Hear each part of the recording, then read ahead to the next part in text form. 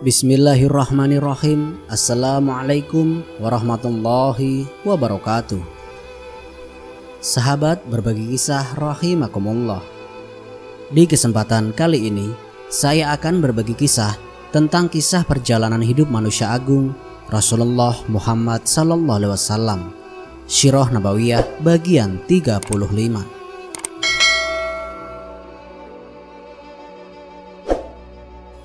kafan, dan persemayaman tubuh mulia ke pembaringan terakhir. Telah timbul selisih pendapat di antara para sahabat sebelum mengafani mengenai siapa yang akan ditunjuk menjadi khalifah.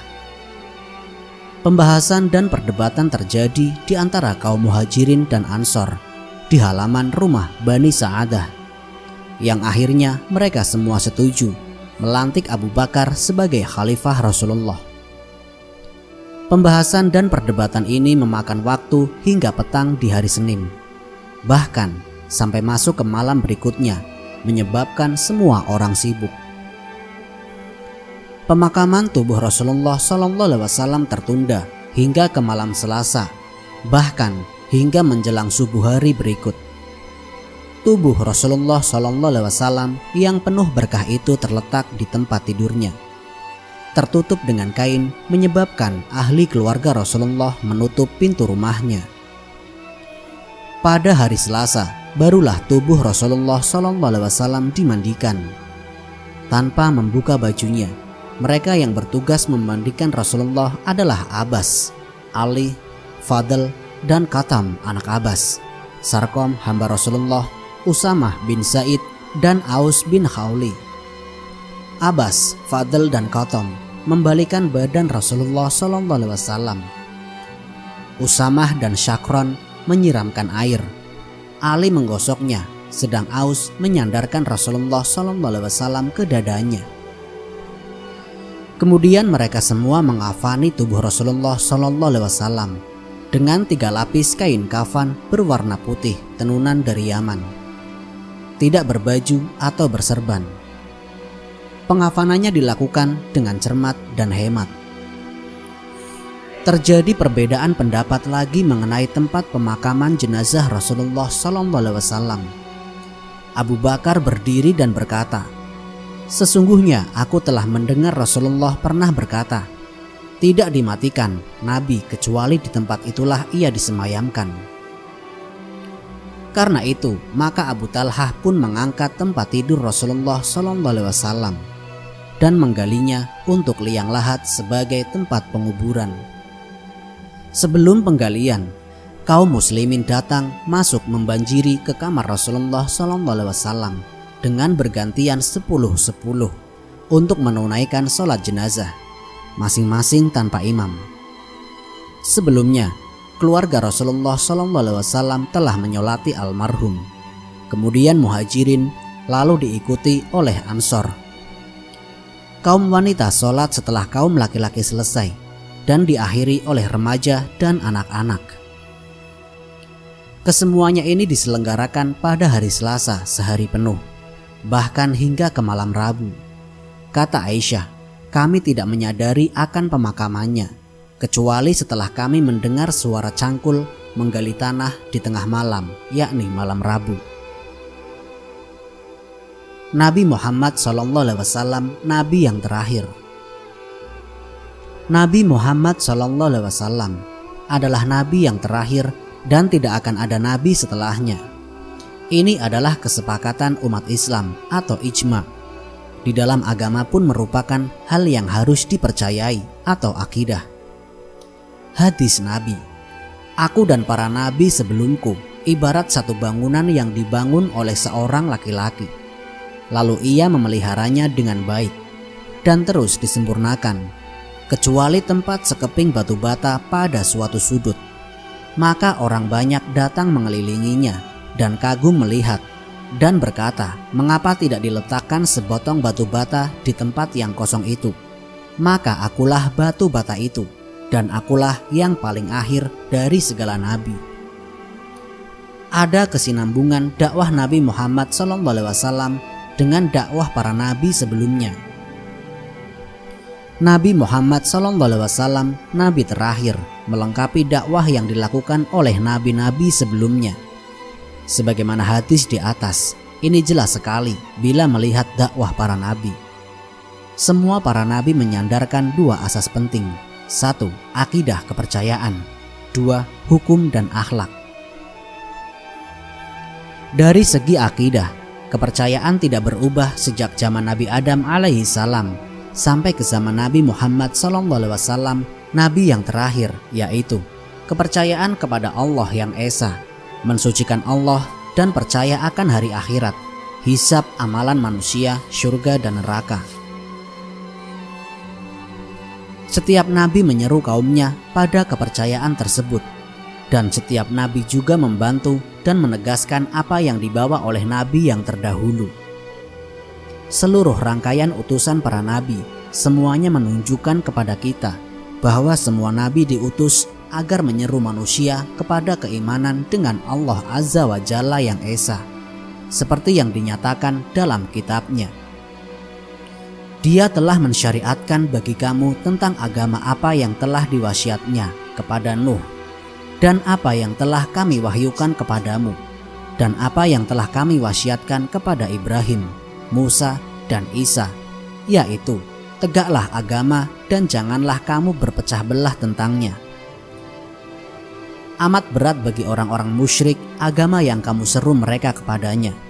Allah menarik kepada agama itu orang yang dikehendakinya dan memberi petunjuk kepada agamanya orang yang kembali kepadanya. Surat Asyura ayat 13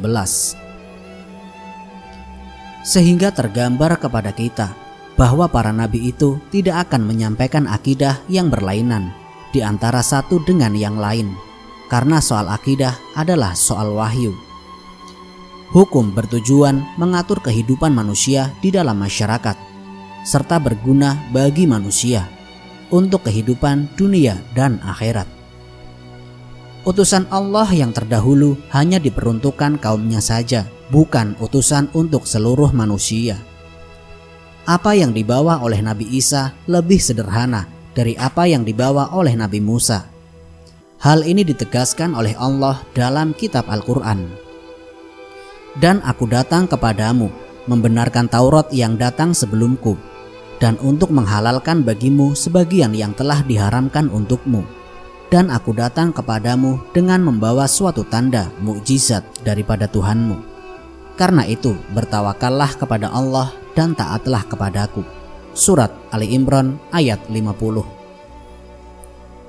Rasulullah Shallallahu Alaihi Wasallam Nabi terakhir.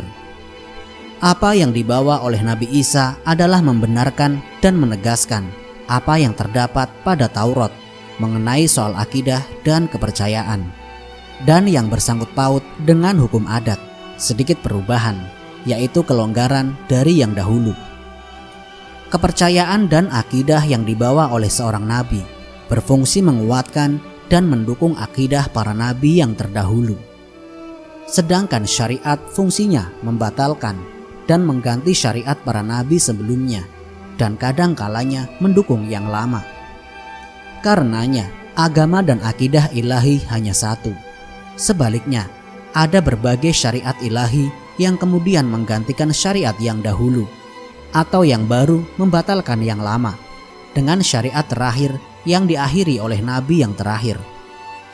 Akidah dan agama yang benar itu hanya satu.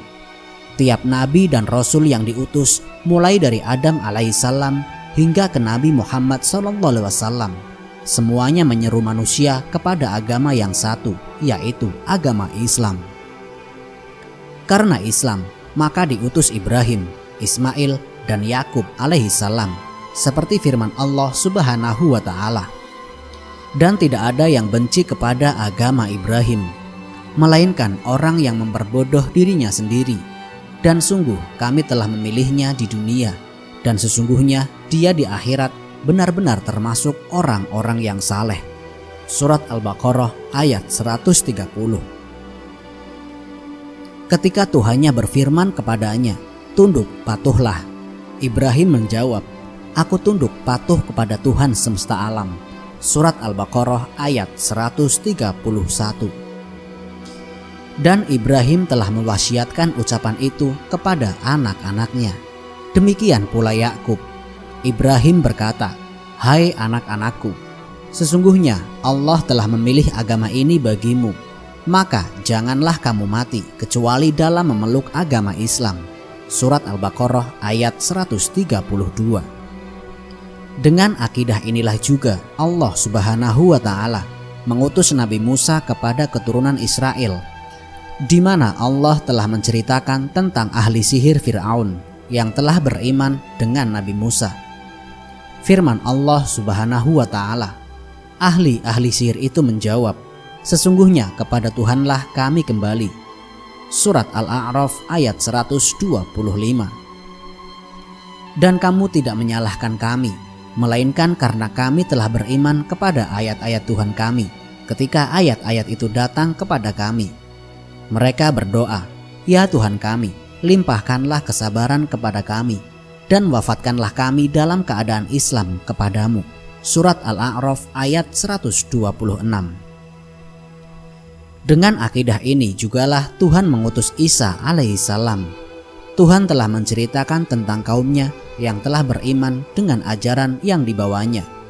Firman Allah Subhanahu wa taala, maka tatkala Isa mengetahui keingkaran mereka Bani Israel, berkatalah dia, Siapakah yang akan menjadi penolong-penolongku untuk menegakkan agama Allah? Para Hawariyin, sahabat-sahabat setia menjawab, Kamilah penolong-penolong agama Allah.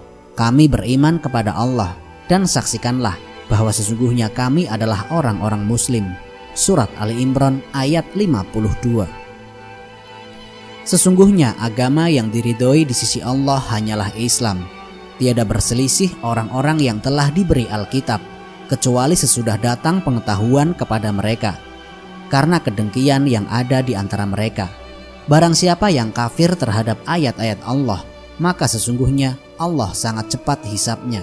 Surat Ali Imran ayat 19 dan tegas Allah Subhanahu wa taala dalam surat Syura dia telah mensyariatkan bagi kamu tentang agama apa yang telah diwasiatkannya kepada Nuh dan apa yang telah kami wahyukan kepadamu. Surat Ashura ayat 13. Dan mereka ahli kitab tidak berpecah belah kecuali setelah datang pada mereka ilmu pengetahuan karena kedengkian di antara mereka. Kalau tidaklah karena sesuatu ketetapan yang telah ada dari Tuhanmu dahulunya untuk menangguhkan azab sampai kepada waktu yang ditentukan. Pastilah mereka telah dibinasakan. Dan sesungguhnya orang-orang yang diwariskan kepada mereka Alkitab, Taurat, dan Injil sesudah mereka benar-benar berada dalam keraguan yang menggoncangkan tentang kitab itu. Surat Ashura ayat 14 Para nabi diutus bersama-sama mereka yang Islam, agama yang diakui oleh Allah. Ahli kitab mengetahui bahwa agama itu satu dan diutus nabi-nabi untuk memberi dukungan kepada nabi-nabi yang terdahulu. Wallahu alam bisawab. Semoga kisah ini dapat memberikan manfaat bagi kita semua. Jika kalian suka dengan channel ini, silahkan klik tombol subscribe untuk mendukung berbagi kisah sebagai salah satu channel yang memberikan informasi kisah-kisah Nabi dan sejarah Islam yang dapat kita teladani sebagai umat muslim. Akhirul kalam, wassalamualaikum warahmatullahi wabarakatuh.